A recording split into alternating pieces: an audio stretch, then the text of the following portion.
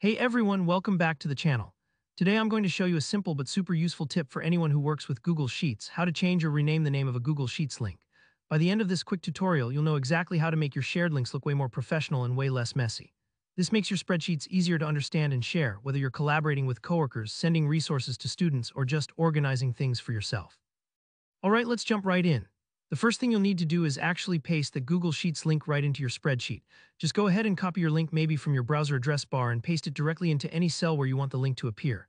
You'll notice that Google Sheets automatically turns it into a clickable hyperlink, which is super handy. But by default, it just displays that long, sometimes confusing URL. That's not ideal if you want your sheet to look clean, or if you want people to understand exactly what that link is for. Next, click directly on the link in your cell, when you do this, you'll see a small preview pop-up, usually at the bottom right of the cell with a couple of icon options. This little pop-up is where the real magic happens. Look for the tiny pencil icon in that pop-up. It should be right next to your link. It honestly doesn't look like much, but this is the button you need to edit or rename your link. Go ahead and click the pencil icon. If you don't see it at first, pause a moment. Sometimes you need to hover over the link to make it appear. Don't worry if it takes a couple tries. Google Sheets can be a bit picky about where you click. Now comes the important part, changing the link name. After you click the pencil icon, you'll see a field where you can edit how the link appears. By default, it still shows the long URL, but now you can type whatever you want like Budget 2024 or Important Team Document. This makes a huge difference. Not only does this make the sheet easier for others to read, it saves you from having to decode a gobbledygook of random letters each time you open your file.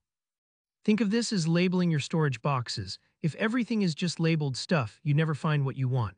By giving your links descriptive names, you and your collaborators will find information faster and with a lot less stress. Once you've entered your desired link name, all you have to do is click Apply. The cell will now show your new neat link name instead of the raw URL. And just like that, your spreadsheet instantly looks more organized and is easier for everyone to use. If you ever need to change it again, just repeat these steps, it's that simple. And that's all there is to it. With just a few clicks, you've made your Google Sheet cleaner, clearer, and a lot more user-friendly. If you found this tutorial helpful, give it a like and don't forget to subscribe for more easy tips like this one. Got questions or want to see more Google Sheets tricks? Drop a comment below. I always love hearing from you. Thanks for watching and I'll see you in the next video.